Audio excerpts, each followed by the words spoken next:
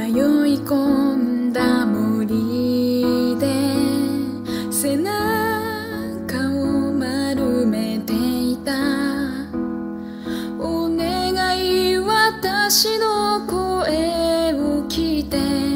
か細い声でつぶやく。光の差す方アタック農業。もなく試食してみたいと思歩いてた優しい音色さえ響かないそんな日々に別れを告げたく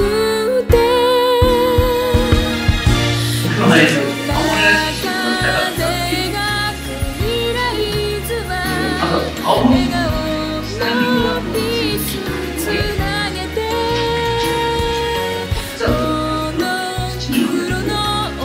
ちよ木漏れ日の光の隙間を抜け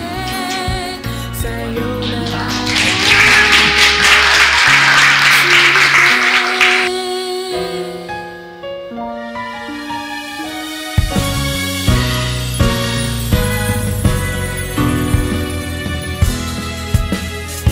色とり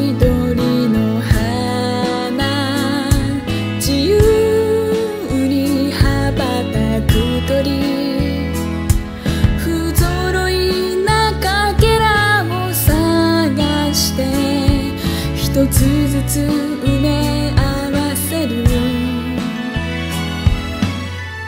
優しい風にふと泣き出しそう。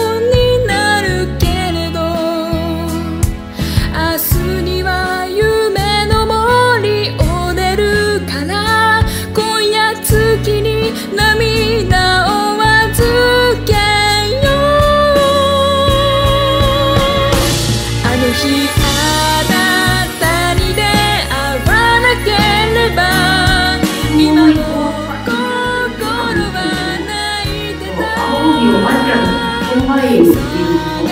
してた最後のピースそれは私の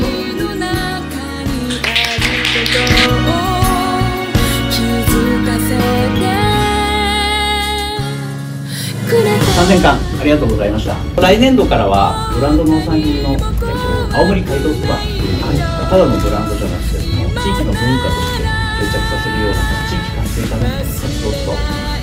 やるつもりですでは3年が10月からということで2年半夏からはあの日あなたに出会わなければ今も心